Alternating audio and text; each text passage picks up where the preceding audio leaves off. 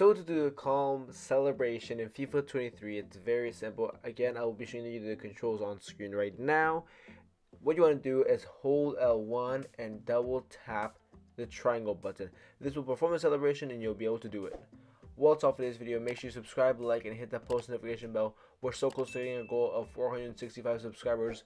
I know we can do it, guys. And until next time, guys, peace.